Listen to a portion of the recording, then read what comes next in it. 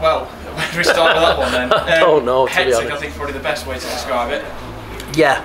Um, listen, when you take over a team in a, in a short space of time, um, you really want them to represent you and what you're about and all your values. And I think we did that tonight from minute one. Thought we'd come to a really, really tough place. Um, we showed a different side to ourselves.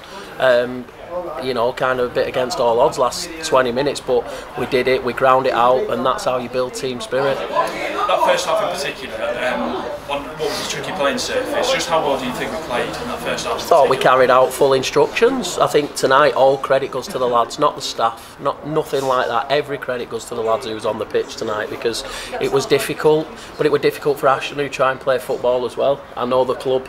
Um, I know kind of the owner personally, and I know how much he's invested in, in the pitch this year, and it's not quite gone according to plan. So it's easy for people to sit here and judge a surface, but this is a club trying to do things the right way, and you've got to credit them because they're, they're the heartbeat of the football club. So I think from that point of view, we're just lucky to get a game on tonight, and we rolled our sleeves up and, and we showed everybody what we're about tonight. And I think while you're in charge of a football club, you never want to go anywhere and be bullied. And I think they tried rough us up as much as they could tonight, but they just couldn't get through. And I'm just so pleased about that. Particularly in that last 20 minutes, obviously, we took a lot of bombardment in defensive areas. Um, just how pleased were you with the defence? Obviously, Lads coming in for his debut. Um, Listen, I, I, I know what Danny Lafferty offers any football team he plays for. Uh, he's probably the most humble, hard-working lad I've ever worked with in non-league, and I knew by bringing him in he could he could help us in the running, and I think he showed that. Even if today was his only ever game for Mac, I think he's been worth his weight in gold. So my relationship with him's brilliant. Um, but I just think Sam Heathcote's been unbelievable since I come in. Um, obviously, Drew went on at left back, did really well. Um, Trey was Trey and then um, got a new keeper in Paul Dawson as well, who was really good.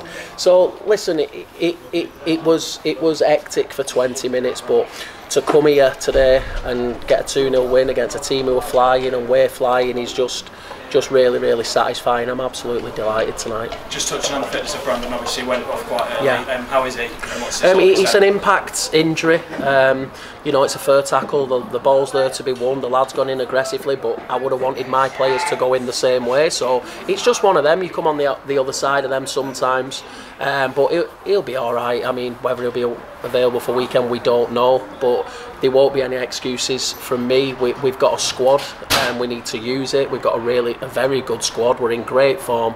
We just want that next game to come straight away because we're just hungry to get back on the pitch. And obviously, that next game does come Saturday back at home against FC United Manchester. Yeah. Um, you mentioned the squad element, obviously, with with suspensions going forward and potential injuries. Just how important are they going to be for the rest of the season? Well, that's why we need everyone ready, um, and and these are a decent group. They all look after themselves, and they all know their importance. I think like today, Kengi didn't start, Drew didn't start, but spoke to him before the game, and they, they, they know the worth. Obviously, Bo didn't get on, and and Sweens today, so they're going to have the parts to play. Tom did a, a, a, a had a bit part to play today, but they're all going to be worth the weight in gold. We've this football club now got a huge 30 days, so everybody needs to be ready. And listen, I'm just really proud to be leading them.